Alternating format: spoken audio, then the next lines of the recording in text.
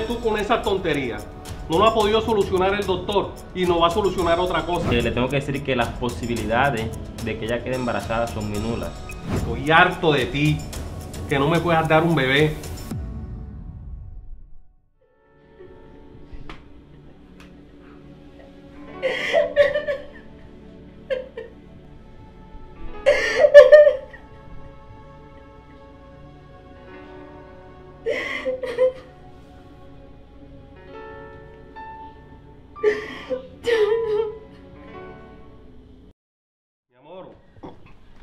¿Estás lista? Quiero saber cómo.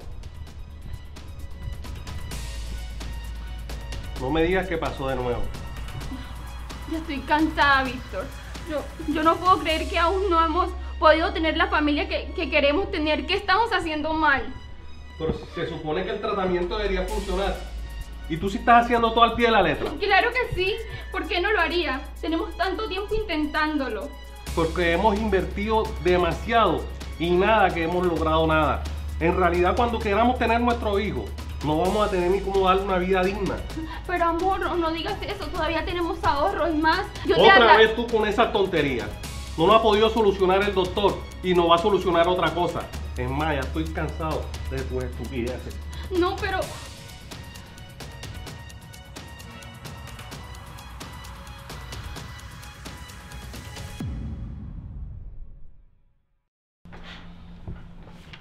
Ok, señorita. Coménteme cuántas veces ha intentado quedar embarazada. Bueno, doctor, han sido muchos tratamientos, han sido diferentes consultas a distintos médicos, muchas veces. Yo creo que lo hemos intentado todo, o bueno, casi todo. Sí, doctor. Van una infinidad de intentos y nada que tenemos resultados positivos. Hemos invertido de todo en esto y yo quiero saber cuál es el problema que tiene mi mujer. Pues viendo los resultados de los estudios que se le hicieron a su esposa, eh, le tengo que decir que las posibilidades de que ella quede embarazada son muy nulas. Como yo tengo mucha experiencia en estos casos, lo único que le puedo recomendar es que depositen su fe y su confianza en Dios, que Él es el único que los puede ayudar en esta situación. Yo no me puedo aferrar que esto se solucione por obra y gracia. Yo necesito saber en realidad cuál es el problema que tiene mi mujer. Sí, doctor, ¿cuál es el problema que yo tengo? ¿O que tienes tú?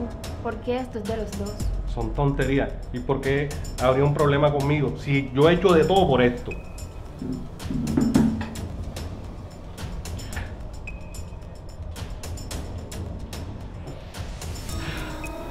Han sido tantos intentos, ya hemos buscado de todos, pero él no ha entendido que, él también tiene que hacerse los estudios, porque esto es de los dos.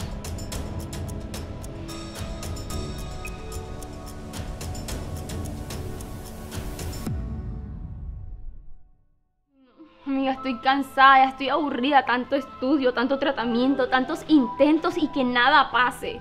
No te desesperes, amiga, no hay nada de malo en ti. Sé que llevas años intentándolo, pero no tienes por qué preocuparte. No, no, yo soy la culpable de que no tengamos hijos. Yo creo que Víctor también debería hacerse unos exámenes. Mira que llevas mucho tiempo y a ti no te ha salido nada. ¿Tú crees que mi esposo es el culpable de todo esto? Pues yo no sé, amiga, los doctores llevan mucho tiempo tratando de buscar un tratamiento, una solución y no han podido encontrar nada. No, no, yo estoy completamente segura que la culpa de que no tengamos hijos es mía. Yo soy la culpable. No digas eso. Además, aún no le has pedido a Dios. Ora, pídele. Que Él te conceda el deseo de ser madre. Bueno, sí, hace mucho tiempo que no hablo con él. ¿Tú crees que me escuche? Claro que sí, jamás dudes de su amor por ti. Hoy, esta noche voy a hablar con él y espero que, espero que me escuche. Claro que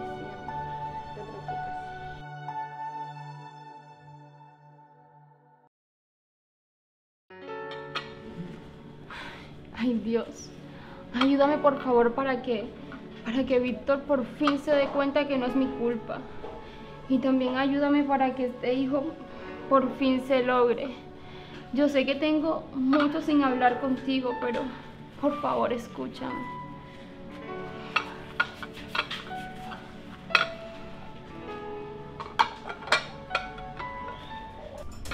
Estoy cansado de no poder tener un bebé. Hoy llegó mi jefe a la oficina con un niño y todavía me pregunta que cuándo vamos a tener el de nosotros. Por favor, amor, cálmate. Pronto vamos a tener nuestros hijos y tú se lo vas a poder mostrar a tu jefe. Estoy harto de ti, que no me puedas dar un bebé. Es lo único que te he pedido. Y ni para eso sirve. ¿Te estás escuchando, Víctor? ¿Te estás escuchando? Con tus palabras me estás hiriendo. Es que estoy cansado de verdad. Es más, me voy a dormir, que mañana tenemos que ir al hospital.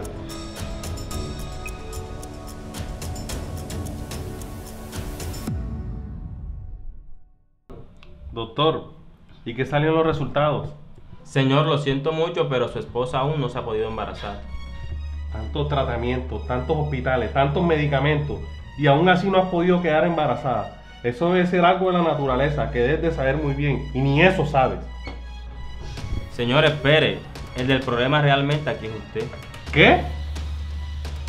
Así es, no en todos los casos la mujer es la del problema. Realmente en la mayoría de los casos el del problema somos nosotros los hombres. Pero soy una persona sana. No puedo creer que sea yo. Pues será mejor que lo crea para poder buscar otras alternativas, para que así ustedes puedan tener un hijo. La adopción es una buena idea, porque podemos ayudar a niños que en verdad lo necesitan. Pero, doctor, yo no quiero tener hijos así, yo no quiero adoptar hijos, yo, yo quiero hijos que salgan de mi vientre. ¿Te das cuenta? Tú todo el tiempo culpándome a mí cuando el culpable eras tú. ¿Y por qué tengo que ser yo si en mi familia nunca se ha visto un caso de esto?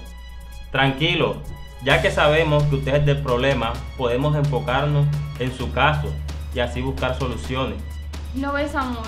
Tenemos que buscar otras alternativas y así podemos tener el hijo que tanto hemos deseado tener. Aún así, yo les seguiría diciendo y recomendando que depositen su fe en Dios, porque en este consultorio han pasado muchos casos, muchos milagros. Tengan fe. ¿Te das cuenta, amor? Si nos agarramos a Dios, si nos aferramos a Él, Él va a conceder todos los deseos de nuestro corazón y vamos a tener ese hijo. Gracias, doctor.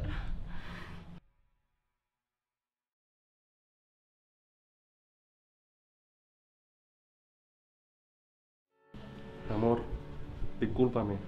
De verdad te culpé pensando que eras tú la del problema. Y más es que era yo. Lo siento mucho, de verdad. Amor, no te preocupes. Sabes que somos un equipo y que ahora con Dios por delante vamos a lograr ese sueño que siempre hemos tenido, que es tener nuestra familia. Así es, mi amor. Hay que orar mucho y tener mucha fe en Dios, que Él es el único que puede mover montañas. Hay que orarle todos los días y todas las noches para que nos pueda conceder nuestra familia. Así es, amor.